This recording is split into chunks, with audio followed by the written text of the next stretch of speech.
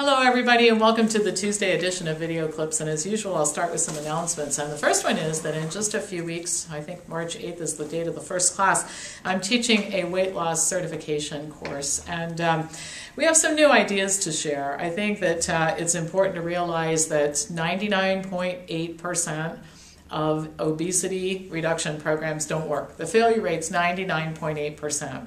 And I think with a failure rate like that, we have to start um, blaming ourselves, the healthcare profession, not blaming the people who keep signing up for these programs and they don't work, and looking for some other options. So we do have some new ideas to share.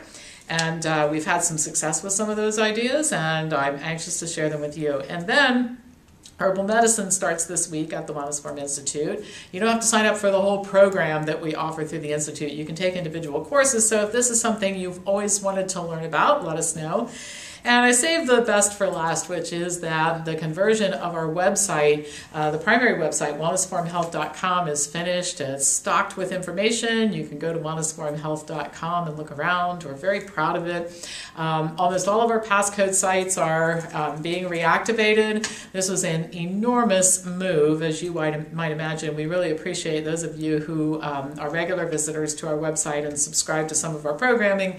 We really appreciate your patience. Um, I've always said that making the types of changes we're making right now at Wellness Forum Health, it would be so much easier if we were a startup business than if we were um, doing all these things as we are with a long time, 20 year old business that has a lot of data and a lot of clients and all that sort of thing. So thanks for your patience, but do go visit it and send me an email and tell me what you think about what you see. All right.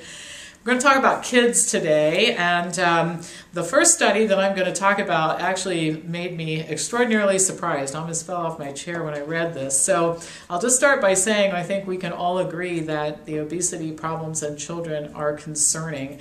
Um, there aren't any simple answers for what has taken a long time and a lot of factors to create. And one major impediment to progress is we have so many different people with different ideas about the way to solve this, different ideas about nutrition and, and children's health and welfare.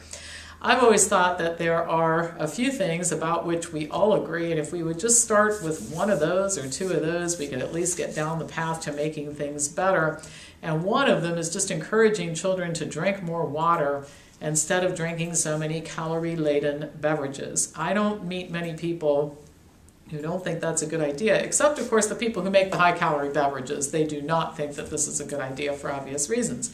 Well, a recent study of New York City school children showed that increasing water intake does displace high calorie drinks and it does result in a small but significant drop in BMI. The study included over 1,200 New York City public elementary and middle schools with over a million students. And what they did was install water jets or dispensers in 483 of the schools. The jets, which cost about $1,000 each, chill and oxygenate tap water, and the children just access it by pressing a lever. The researchers designed the study for a, with a couple of things in mind, one of which was to see if drinking more water and reducing milk purchases, interestingly enough, would be effective for weight loss. That's the part that surprised me. It is pretty much forbidden to talk about lessening milk intake in schools. Well, in schools that got the water jets, both elementary and middle school, boys and girls showed drops in BMI. The schools with water jets also showed fewer boys and girls progressing to overweight status during the time that they were there. The researchers attributed the change to both the increases in water intake and decreases in higher calorie beverage intake, including milk there was a significant 12.3% drop in the intake of all types of milk products purchased and consumed by students at schools that had the water jets. The researchers wrote, quote, water jets could be an important part of the toolkit for obesity reduction techniques at the school setting. They noted the low cost of the water jets and suggested that more research should look at several mechanisms for weight loss, including milk drinking for children. The study was conducted by New York University Langone, or I don't know how to pronounce that anyway, Medical Center. It was published in JAMA Pediatrics, And again, I'll express my shock um, and pleasure and, and, surprise in a good way that this study was actually conducted and published because milk is so aggressively promoted in the school setting, and the dairy industry is understandably very resistant to any kind of change that would interfere with this very lucrative distribution system. So maybe this is the beginning of getting industry out of our schools and instead helping children to adopt healthier habits as part of their uh, education. We can only hope, right? Well, while we're on the topic of children, we learn more about the importance of the 100 plus trillion bacteria that constitute the gut microbiome every single day. From birth, humans count on these bacteria to develop a highly functioning immune system, to create an effective barrier between the gastrointestinal tract and the bloodstream, and to facilitate the absorption of nutrients from food. In addition to contributing over 5 million additional genes to our genetic makeup, these bacteria help to ensure the development of our neural and metabolic systems. It's well established that diet plays a major role in the development and maintenance of a healthy microbiome, but research now shows that exercise plays a role too. A new review shows that early life exercise results in changes to the gut microbiota, which can contribute to optimal brain function and emotional well being. The authors report that early childhood exercise may even protect against psychiatric stress disorders later in life. The protective effect is attributed to increased colonies of lactobacillus and other types of bacteria that, that produce butyrate, a short chain fatty acid that has been shown to reduce mucosal inflammation, strengthen the intestinal barrier, and improve intestinal motility. Butyrate has also been shown to assist in preventing colon cancer. Lots of benefits to having a healthy gut microbiome.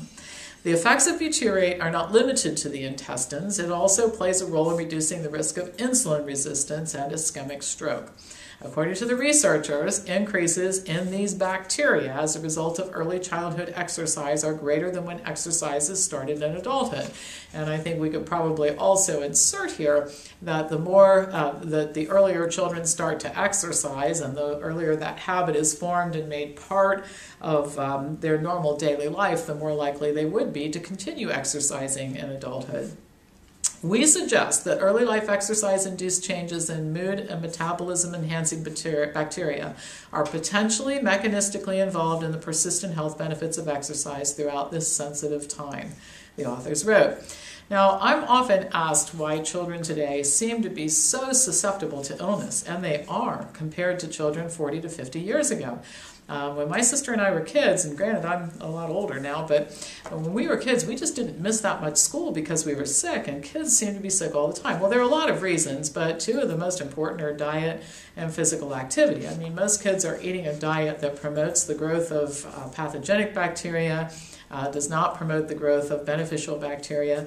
The overprescribing of antibiotics has made all of this even worse because antibiotics wipe out gut bacteria and then children are not physically active. They're learning how to be sedentary rather than learning how to be physically active at an early age. So I think if we want to improve children's health, we have to pay attention to their diet, exercise, um, becoming much more conservative about how much antibiotic we use in a medical setting. And we could set kids up for a much healthier adulthood. Okay, that's all for today. As usual, pass this on to anybody who you think would enjoy watching it, and I will be back to you on Thursday with more news.